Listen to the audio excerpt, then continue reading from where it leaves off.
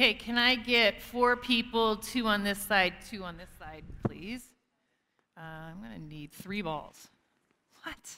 That's not volleyball. All right, so this one's called the golden egg. Okay, so you're going to play short court right here. Okay, this is your golden egg. Never let it hit the ground. Okay, this is your golden egg. Okay, never let it hit the ground. Right, now you're going to play volleyball with this ball. Okay, so it's still, you, you are shooting for three contacts on a side still. Anything goes. Okay, but remember in short court.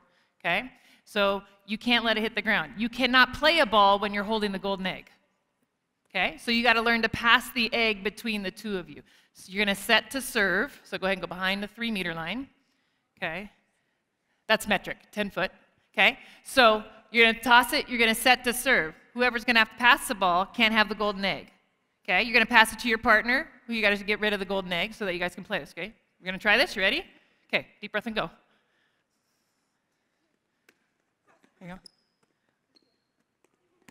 Oh, oh, oh, they're down. So we stop and we go, oh, golden egg. Poor chick. Not you, chick, but the egg chick. Okay, serve again. Okay, serve again. Okay. Okay. So what we'll do sometimes is there'll be one point for the rally, two points for the egg to drop. Okay? So never drop the egg. Okay? Go.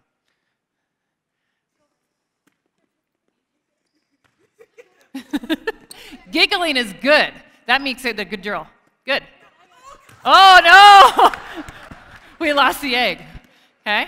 So in this drill, I think it's really interesting for strategy because I have a question for you real quick in this drill, strategy wise. Okay? Every time you serve, you serve the person without the egg. Why? So I can keep it in. So you can keep it in? Okay. I want to play you. Okay. I want to play you. You're real nice. Okay. So golden egg, that's what game right there.